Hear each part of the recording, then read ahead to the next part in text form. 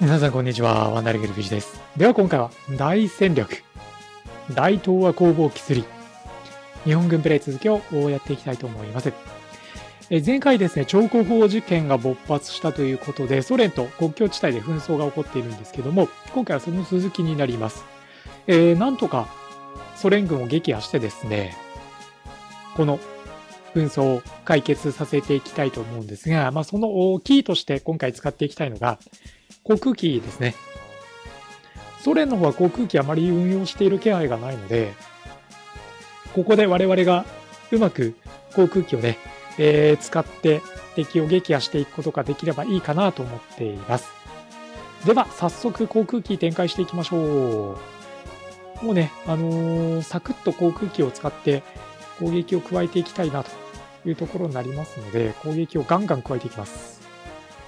天候が悪いということで爆撃ができないので、機銃相当が中心になってしまうかなというのはあるんですけど、まあ、それでも機銃相当を行って確実に数を減らしておきましょう。え、生産については96式の艦爆ですね。これを、えー、5ユニット作ることにしました。合計20機、25機かな？20機ですね。えー、これを戦線に投入すべく生産を開始しています。まあ、どうしても陸戦隊というか、まあ、あの歩兵同士の戦いは消耗戦になるので、一方的に大ダメージが期待できる航空戦力を使ってね、敵の数を減らしていこうという作戦になります。注意しなきゃいけないのが航空機の燃料ですが、まだ大丈夫かな？強行軍をするとね、当然減りが早いんですが、今回強行軍をできるだけ控えるような形で、えー、進軍してますので、今のところまだ大丈夫そうですね。あと弾薬ぐらいですかね、心配なのがね。工場 B、ここを占領完了です。進軍していきましょう。まあ、工場が確保できたら、ここで弾薬とかね、補充できるので、まあ、しっかりと補充しながら進んでいくと、補給ラインっていう意味では安心感がありますよね。ここは敵をね、えー、引きつけておいて、根拠地の方を狙っていきたいと思います。歩兵で敵を引きつけておいて、根拠地を狙う。まあ、うまくいけばですね、えー、この敵の大部隊を壊滅させることなく根拠地だけを、えー、制圧してステージクリアに持っていくこともできるかなと思いますのでちょっとそういうね、えー、うまい具合の作戦が決まるようにアレンジをしっかりしていきましょ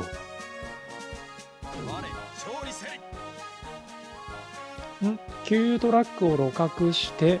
さらにこの中都市 B も確保しましたね。これでまた一つ進軍ルートが確保できたと思います。えー、敵の根拠地にもね、もうだいぶ近づいてきましたね。このまま敵の根拠地を制圧すべく軍を進めていきます。ここにいるマキシマム4連装機銃兵が邪魔なので壊滅させておきたいところですね。これでマキシマム4連装機銃兵を撃破したので占領に入っていきましょう。ここが敵の根拠地ですね。ここを制圧すれば、えー、我々の勝利になるというところです。艦爆隊に関してはどうだろうな、まあ、この93式の陸上攻撃機なんか見ると250キロ爆弾はもう、えー、残弾がゼロになってますのでまだ飛べる燃料はありますけども、一度飛行場に帰って弾薬の補給をし始めましょう。長期戦になることも視野に、一度戻して航空隊の補充に入りましょう。航空機はね、かなり高価なので、あのちょっとでもね、失わないように、大事に大事に使っていきたいなというふうには思っています。ここも対戦車砲がいるので潰しておきましょう。戦車がね、無駄に破壊されないように対戦車砲を先に潰しておきます対戦車砲に火炎瓶をね投げて戦うっていうそしてこれを破壊するっていう屈強なる日本兵ここには高射砲がありますね。この高射砲もできれば破壊しておきたいかな。ここも火炎瓶を投げ込んでいきましょう。では8級の戦車部隊も先に進んでいきます。今あのー、敵の根拠地にあるいはその近くに展開している歩兵は今占領しているこの1部隊のみなのでこの部隊がやられてしまうとまたその占領するのに歩兵を連れてきてっていう時間がかかってしまうのでこの歩兵を戦車でちゃんと守りましょう。それによってねあの効率よく占領を進めてステージクリアを目指していきたいと思います。では先ほど生産した96式の立候部隊ですねこれを合計20機 4× 5ユニットの合計20機出撃させました。うまく機能してくれれば、これは強力な20機になるかなと思います。9号式の重戦車で放射砲破壊しちゃいましょう。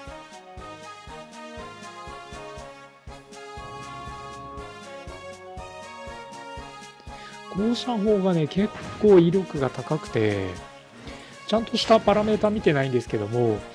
あの、歩兵にも戦車にも強いなっていう、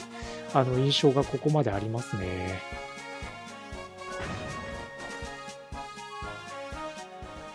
では、96式の航空隊ですね。この航空隊を使って、敵を殲滅しつつ占領を続けていきます。根拠地の占領は、やっぱりちょっと時間がかかりそうですね。ここで占領をもう一回選ぶんですけど、ようやく3回占領を行って半分っていうところですかね。敵の歩兵ユニットが現れたら、これは戦車で駆逐しておきましょう。何度かお話してる通り、歩兵がやられるとまためんどくさいことになるので、歩兵がやられないようにね、歩兵を守っていきたいと思います。さあ、ここの工場も占領完了です。あらかた敵は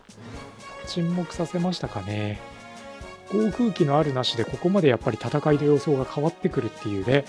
その、まあ、典型的な例というかパターンにはまったんじゃないかなと思うんですけど、ここはソビエト軍が、ソ連軍が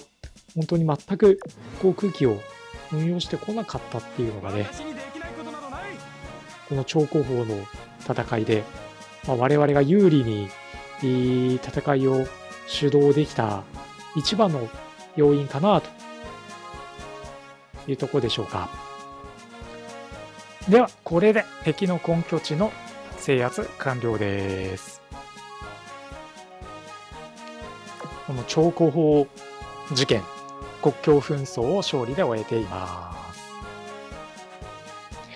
水戸か。前回のね、露光橋事件は一等だったんで、ちょっとまずいところがいくつかありましたかね。はい。えー、では、この超高法事件に関しては今回で、えー、終わりにしたいと思います。次回またこの続きをプレイしていきたいと思います。